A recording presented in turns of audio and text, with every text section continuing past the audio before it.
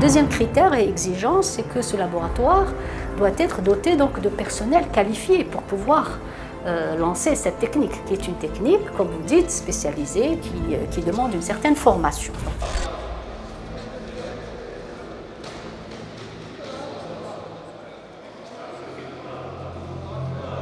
معهد باستور مركز متخصص في بحث ومراقبة الأمراض المعدية في الجزائر. تابع لشبكة معاهد باستور المتواجدة عبر كامل القارات تقريباً.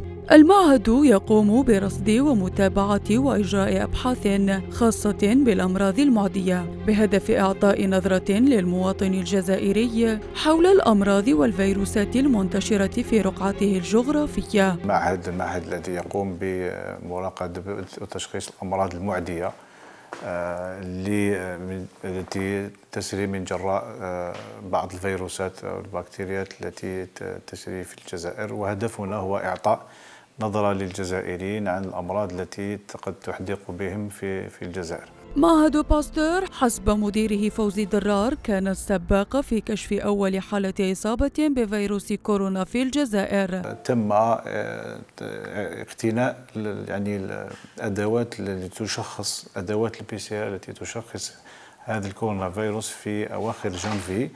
وبدأنا نراقب آه، حتى الأعراض تاع الإنفلونزا جميعها نراقب آه، ما هل عندها الكورونا فيروس أم لا زيادة عن الإنفلونزا.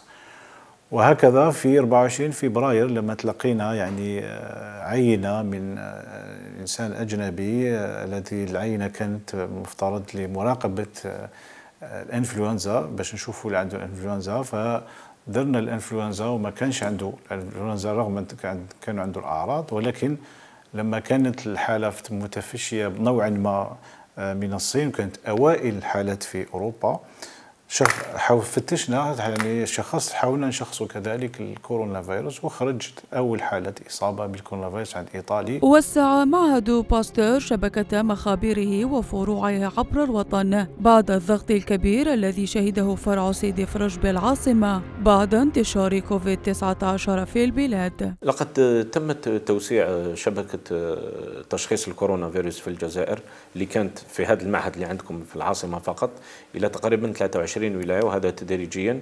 هل الآن نقدروا نقولوا باللي كان اكتفاء على مستوى التراب الوطني؟ يعني كما قلت في الأول كان معهد سيدي فرج الأسباب اللي ذكرناها هو الوحيد الذي كانت له القابليه ل وهذه كانت قابلية آتية من المنظمة العالميه للصحة. فبعدها اتساع اتسع كثير الفيروس بحيث أن الضغط أصبح كبير على معهد سيدي فروج فبالتالي لما شفنا أنه جغرافيا يعني يتوسع حاولنا أننا يعني نواكب هذا الفيروس. فتوسعوا اي توسع باش تصبح أدوات تشخيصية أقرب للمواطنين خصوصا البعيدين في الجزائر. وبعدها تم يعني تزويد مثلا مراكز باستور الجهوية في كل من وهران وقسنطينة. وبعدها يعني تم معهد باستور عمل يعني عمل منشورة في على الموقع الإلكتروني تاع المعهد أين قلنا آه، هاي ليك الأدوات التشخيصية اللي لازم تكون في المخبر باش يقدر يدير التشخيص آه، تاع الكورونا فيروس. وبالتالي هذه أخذت بعين الاعتبار من طرف آه، المدراء تاع الصحة في جميع الولايات. وبعضهم كانت عندهم أجهزة فبالتالي شافوا واش كان عندهم وزادوا بالنسبة للمشروع اللي اعطانا وبعد ما يعني كان عندهم التركيبات اللازمه يعني كان تنقل من أشخاص من خبراء من المعهد تاعنا في الفيرولوجي تنقلوا إلى هذه المخابر وعملوا يعني كما نقولوا التقارير في بعض الأحيان تقارير جيد جدا يعني ممكن المخبر يعمل تشخيص في أقرب الآجال. وبعض الحالات كانت يعني تقارير تقول باللي هذا المخبر لازم له شوية وقت لازم له مثلا في بعض الأحيان ما تكونش البنيه البنية تاع المخبر مليح فلازم تتغير. وبعدها يعني كان يخصها الأجهزة باش تشتري وتقتني هذه الأجهزة. وبالوقت يعني الآن موجود مخابر في آه، تقريبا في الناحية الشمالية عندنا عندنا نظرة جيدة فيه في وهران في تلمسان في آه، في شلف في تيزيوز في الجنوب الكبير. في تيزي وزو في بجايه في قسنطينة في عنابة. وبعدين حلينا أول مركز من ناحية الجنوب اللي هو مستشفى في مدينة ورقلة لأن يشتغل بصفة جيدة جيدة. وبعدها تنقلنا إلى بعض في الجنوب. مثلا الآن آه، مشينا في بشار. وفي بشار الآن في غضون أيام يكون أول يكون يعني آه، تشخيص للكورونا فيروس. إحنا في اتصال دائم. وفيه كذلك آه، ولاية تامنراست اللي عندها الجهاز اللازم ولكن كان يخص فيها جهاز وأنا نشوفوا كيفاش نتنقلوا. وفيه كذلك ولاية إليزي كذلك اللي مفترض يلحق لها أول جهاز لتشخيص كورونا فيروس في الأسابيع القادمة. وفيه كذلك آه، بعض الولايات الأخرى اللي رانا نحوسوا باش تكون عندها يعني تغطية جيدة للناحية الجنوبية وهكذا تكون عندنا شبكة مخابر آه، أقرب للمواطن وتعطي نظرة أكثر وتقرب خصوصا آه، التشخيص من المواطن. أنتم في تعاون وتبادل معلومات مستمر مع كل معهد باستور على في العالم؟ نعم فيه يعني كما نقولوا إحنا آه، الدورات التنسيقية عن طريق الإنترنت وعن طريق اجتماعات في الإنترنت لمعرفة ما هي يعني الحالة يعني الأدق الجديدة وكذلك مع المنظمه العالميه للصحه فيه تبادل آه، يعني يومي مع المنظمه العالميه للصحه وفيه آه، اسبوعيا يعني منشورة تخرج للمخابر المرجعية تشير إلى ما هي المستجدات من ناحيه من جميع النواحي سواء من ناحية الفيروس أو من ناحية الدواء أو من ناحية التلقيح أو من ناحية الظروف يعني الاجتماعية. يعني ماذا؟ يعني كيفاش واش يظن الناس من التلقيح؟ واش تظن الناس من تشخيص كورونا فيروس الطريقة المعتمدة من طرف معهد باستور وفروعه عبر الولايات للكشف عن فيروس كورونا تتمثل في أدوات تشخص الفيروس مباشرة أو ما يعرف بتقنية PCR. La PCR est une technique de biologie moléculaire, effectivement, donc qui est un peu différente des autres techniques sérologiques, et c'est une technique donc qui, qui exige certains critères. Ce n'est pas Euh, tous les laboratoires qui peuvent donc lancer cette PCR. المخابر المؤهلة للقيام بفحص الكشف عن كورونا هي مخابر تخضع لمعايير معينة من درجات الأمان والحماية كما تحتوي تقنيات معينة. Les laboratoires qui sont habilités à faire cette PCR, c'est des laboratoires euh, classés P2, c'est-à-dire des laboratoires de niveau de sécurité P2.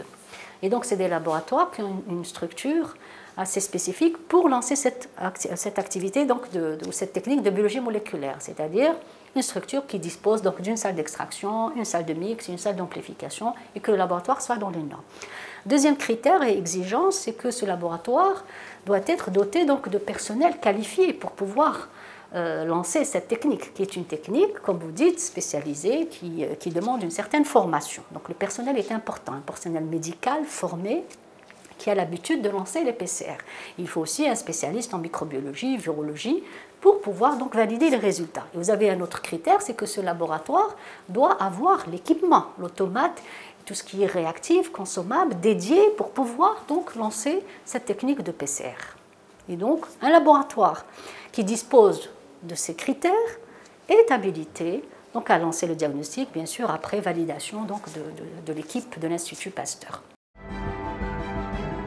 معهد باستور ملحقة سيدي فرج.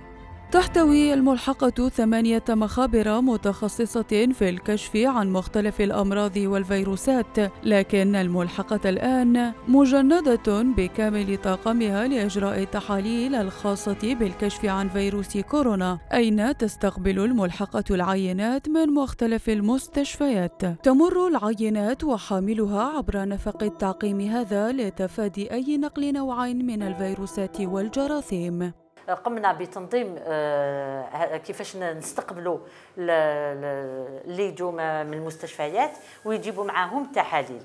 عندنا كما راكم تشوفوا برا كاين لي زامبولانسيي اللي يجوا يدخلوا بانتظام يدخلوا واحد بواحد. كي يلحقوا لهنا كل واحد يجيب المبرد تاعو ومن بعد الشخص اللي يكون مكلف بهذه المهمة في هذاك اليوم يقوم بتنظيف المبرده عن طريق السوائل اللي نستعملوها في المخبرات. تعقيم. وسائل بدون شك وسائل معقمه تعقم دونك ينظفوها. من بعد يحملوها لأن هنايا يكون إلا استلام هاد العينات داخل المبرد. من بعد تروح لجهة ثانية وين نقوموا بال اون فوا يعني نشوفوا إذا كان المعلومات الموجودة على العينات والموجودة على الوثائق اللي تجي معها تكون صحيح تكون متطابقة يكون فيها الأسم واللقب والاسم تاع تاع المريض يكون فيها المؤسسة اللي بعثوا منها يكون فيه شحال في عمره يكون فيه الأعراض تاعو وقتاش بدات. بعد ذلك تتم عملية التأكد من مطابقة العينات للأوراق المرفقة معها وهي مرحلة مهمة للتأكد من صحة المعلومات وعدم خلط العينات. هنا صعدنا للطابق الأول وإن يتم أخذ العينات من المبرده فسرنا كيف تم باقي العملية. كما راكم تشوفوا كاين هنا شخص آه، كل يوم كاين عندنا واحد اللي يعمل هنا اللي هو رايح يشوف العينات. اولا إذا كان آه، آه، موجودة في في في, في les tubes اللي لازم les milieux de transport اللي لازم يشوف إذا كان كاين الإسم واللقب فوق فوق le tube ويشوف الوثائق إذا كانت مطابقة للمعلومات الموجودة على على العينات.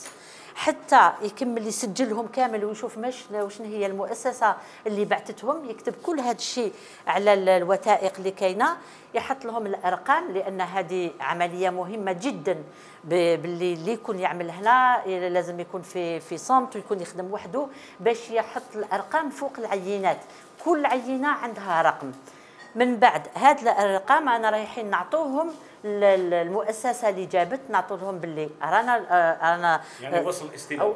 وصل الاستلام. إذا كانت عينة غير مطابقة لمشكل ما يا إما ال prélèvement ساح ولا ما كاش المعلومات ولا ما كاش في بعض الأحيان ما كاش ما كاش la fiche de renseignements ولا ما كاش le prélèvement هذاك الوقت نسجلوه حنا عندنا ونقولوه لهم ليهم باش يعاونوا التحليل ويعاودوا يبعثوه لنا. باش ما يكون حتى خلط لأنها هذه هذه المرحلة مرحلة جد مهمة.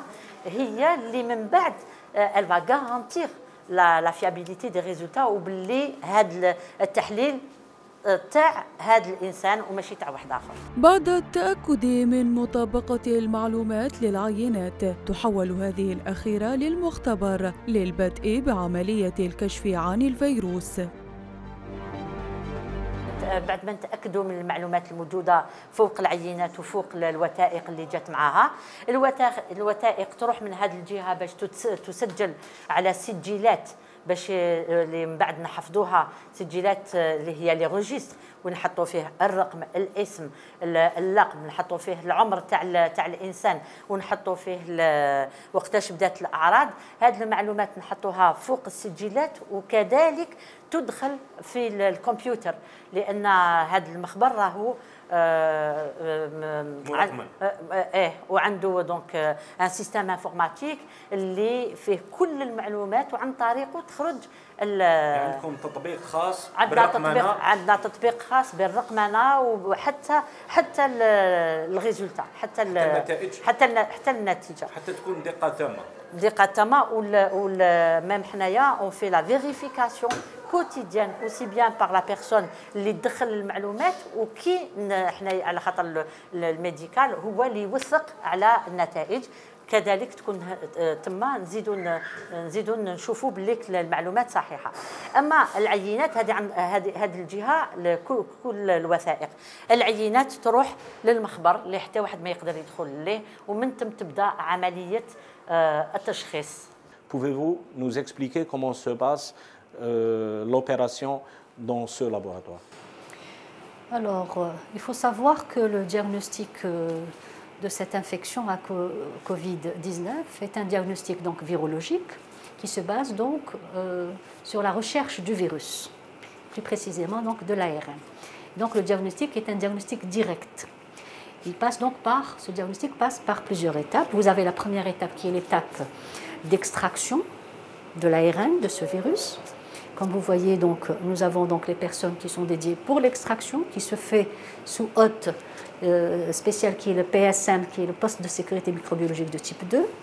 Une fois l'extraction faite, cet extrait va passer donc à la salle de mix, qui va se faire donc avec une autre personne, sous hôte bien sûr, sécurisée. Donc c'est un mélange donc de mixte, de préparation, qu'on rajoute donc à cet extrait pour pouvoir après passer à la troisième étape qui est l'étape d'amplification. On va amplifier cette étape. C'est dans ces deux salles, voilà, où il y a des appareils, des appareils, des automates dédiés qui vont donc permettre donc de d'amplifier donc cet ARN. C'est la RT-PCR, c'est ce qu'on appelle la PCR, qui va permettre un peu donc de préciser est-ce qu'il y a le virus ou est-ce qu'il n'y a pas le virus. في هذه المرحلة يتم تسجيل العينات الوافدة إلى المعهد في سجلات تحتوي على اسم وسن وعنوان المشتبه فيه ومتى بدأت الأعراض وتحمل كلها في نظام معلوماتي تظهر عن طريقه نتيجة التشخيص لاحقا آخر مرحلة من عملية التشخيص وهي مرحلة مصادقة على النتائج فسريها لنا بطريقة عامة. alors كي يجي ال prélèvement العينه بعد اللي نديروا لها التحليل وكاع المراحل اللي جزنا بها شفتوها. المرحلة النهائية هي المصادقة على النتيجة. هل هي نتيجة سلبية أو إيجابية؟